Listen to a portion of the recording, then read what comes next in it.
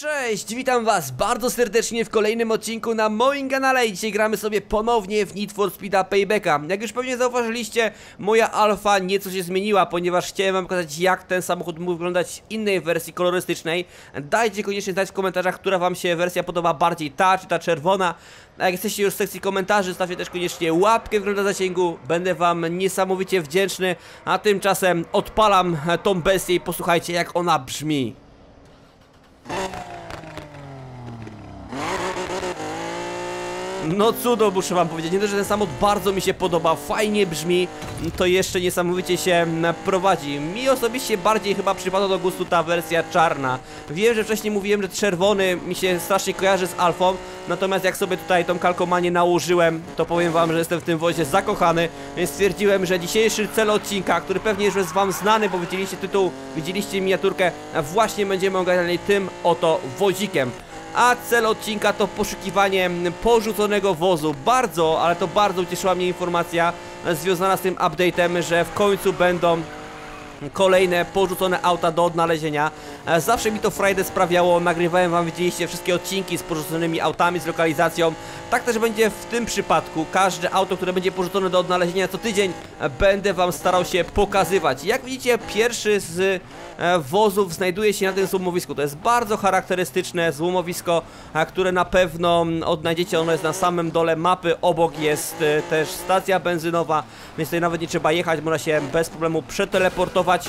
No i kiedy podjedziemy w okolice, to też zwróćcie uwagę na minimapce, mamy informację, gdzie ten samochód zaginiony się znajduje, tak więc podjadę sobie tam i zobaczymy, jak to wszystko będzie w tej, powiedzmy, nowej wersji zaginionych aut wyglądało.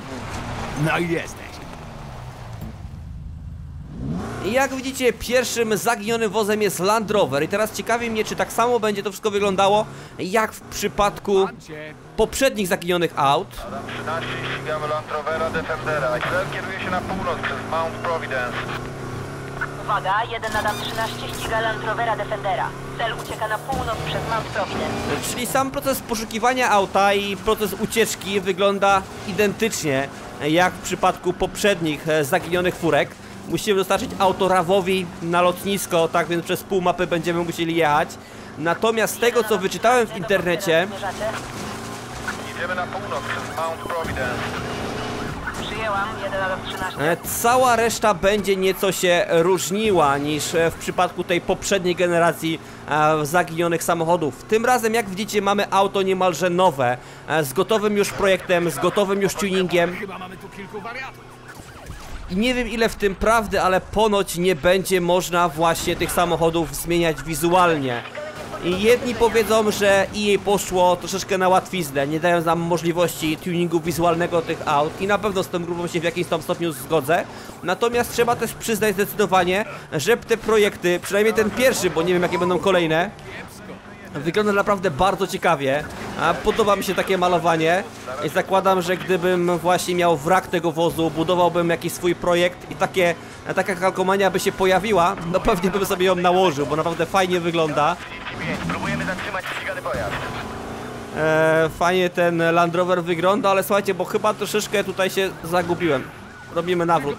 Robimy zdecydowanie nawrót i lecimy tak jak nam tutaj GPS wskazuje tą drogę, bo niestety na pustynia jest, e, ta pustynia jest ogromna, natomiast e, bardzo, w bardzo wielu miejscach znajdują się takie ogromne skały, których niestety nie przejedziemy. Nawet takim e, terenowym wozem, jakie mm, tutaj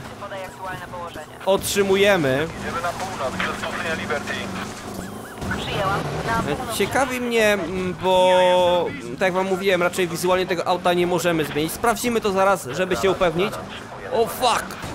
A dobra, na szczęście mamy konkretny wozik, który nie da się tak łatwo przepchnąć, nawet taranowi. Ale wracając do tematu, bardzo ciekawi mnie, czy będzie można chociażby mechanicznie ten samochód przerobić. Mam nadzieję, że tak. No, Bo czemu by nie? Tutaj żadne zmiany wizualne nie zachodzą. E, Większej też filozofii przy programowaniu tego wszystkiego nie ma. Bo są to karty, a nie części. No Tak więc raczej mechaniczny samochód będzie można przerobić i sobie go nawet przerobię, jak będzie taka możliwość do maksymalnego możliwego levelu. Zawsze też fajne jest to, jeśli ktoś gra karierę sobie e, na chwilę obecną, że mamy jednak fajne auto e, z Afriko, nie? E, do kariery. Można sobie ten samochód przerobić na level 399. Nie trzeba już się tak męczyć jak ja, kiedy grałem na premierę i te karty tak pomału, pomału zbierać, tylko można sobie maksymalnie od razu ulepszyć auto do 16 levelu. Potem kupujemy, nie wiem, z 16 maksymalnie kart i mamy maksymalny level ulepszony.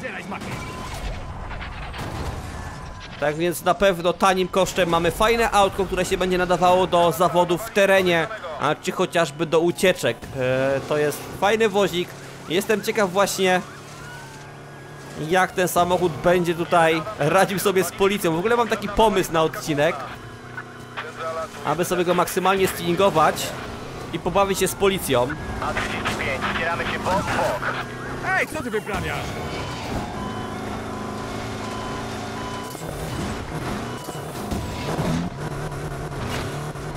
Hopsa! Jedziemy na północ, w okolice lotniska 73. E, No dobra, jesteśmy już na północ w okolice lotniska 70. na miejscu. No auto może teraz nie wygląda jak nówka, albo troszkę zabrudzone, na szczęście nie porysowane. Natomiast wjedziemy do garażu, wyczyścimy i będzie jak nóweczka. Ale właśnie ciekawi mnie jak to wszystko będzie tutaj wyglądało, jeśli chodzi o tuning i tak dalej. Mach, szybki skurczybyk z ciebie. Znalazłeś niezły wóz. Auto jak widzicie jest na levelu 190, więc nie jest to na pewno nic imponującego. E, możemy tutaj z tego co widzę zmienić sobie dodatki kosmetyczne, tak więc to jest e, dostępne. To już nie, to już nie, to już też nie. No i modyfikację osiągów możemy też tutaj wprowadzić, tak więc niestety wizualnie auta nie zmienimy, ale level podnieść zdecydowanie można. Jestem z wami po kilku chwilach, e, streamingowałem sobie ten wozik do levelu 399 i teraz zobaczcie jak on wygląda w pełnym świetle po wizycie na myjce. Osobiście ta kalkomania bardzo mi się podoba, fajnie ten wozik jest przygotowany już. No po prostu gotowy projekt, tak, tutaj zmian wizualnych niestety nie będziemy mogli wprowadzić, więc troszeczkę na tym ubolewam, ale akurat ten samochód jest fajnie dla nas przygotowany, fajną kalkomanię posiada i mam nadzieję, że kolejne projekty też fajnie się będą prezentowały e, i Słuchajcie, tak jak wam wcześniej mówiłem, przetestujemy sobie jak ten wozik tutaj e, daje radę sobie z policją na levelu 399 e, Tak więc już tutaj pojawiłem się w takim aktualnie miejscu, gdzie jak widzicie możemy sobie wykonać misję związaną z dowozem paczki. Tak więc podjedźmy sobie i zobaczmy, czy uda mi się gdzieś tam odstawić policję w tyle. E, Mamy tutaj ponad 1000 koni pod maską tak więc zdecydowanie więcej niż seryjnie. I zobaczymy, jak policja sobie poradzi. Na pewno nie będą nas goniły takie płotki, jak to było wcześniej. Tutaj powinny się jakieś korwety pojawić już. Ale czuć kurde moc w tym aucie, jest potencjał. Tak więc jak ktoś rozgrywa sobie gdzieś tam e, karierę, jest na początku gdzieś, znajdzie taki zaginiony wóz, podrasuje sobie go, to będzie naprawdę fajnie się bawił z policjantami. Bo wozik nie dość, że jest bardzo szybki, to jeszcze, no widzicie, to nie ma tutaj w ogóle szans, żeby policja gdzieś tam była na stanie przepłynąć. Zresztą widzieliście nawet w wersji seryjnej Taran miał jakieś większe problemy z nami. A co dopiero takie lekkie korwety. Jeszcze nie mogą mnie dogonić. No w przepychankach nie mają szans. Zmierzacie? Zobaczcie, lekkie uderzenia i lądują gdzieś tam na poboczu. Przyjęłam. Cel kieruje się na wschód przez pustynię Liberty. Nie no, czuć naprawdę ogromną różnicę między seryjnym wozem pod względem mocy, tak? Czuć, że ta moc naprawdę w tym aucie ogromna drzemie. Nie zobaczcie, ucieczka udana bezproblemowo. Nawet na moment mnie nie zatrzymali. Tak więc zdecydowanie warto. Słuchajcie, e, jak jest za darmo, to warto z tego korzystać. Macie około tygodnia na to, tak więc korzystajcie, e, że jest za friko. Wiadomo, darmowe to jeszcze lepiej smakuje niż, niż takie, za które trzeba zapłacić. Tak więc, e, tak wam wspominałem, Będę wam starał pokazywać się wszystkie zaginione auta wraz z lokalizacją dokładną, gdzie one są. Pobawimy się, podtuningujemy do maksymalnych levelów, tak więc co tydzień spodziewacie się odcinków e, na moim kanale, a jeszcze będę miał wam do zaprezentowania oczywiście na dniach e, dwa tuningi. Pojawił się Land Rover nowy, e, który sobie kupiłem w ramach tego płatnego update'u oraz też pojawił się Chevrolet terenowy. Zobaczymy sobie jak te auta się spiszą w akcji. Tak więc śledźcie kanał w poszukiwaniu tych odcinków, no i też jeśli jesteście zainteresowani streamami, to pewnie na dniach coś się pojawi z Paybacka, bo jestem ciekaw jak ten tryb online wygląda, jak on się zmienił od ostatnich czasów. Tak więc to by było tyle na dzisiaj. Trzymajcie się. Do usłyszenia w kolejnych odcinkach. Cześć!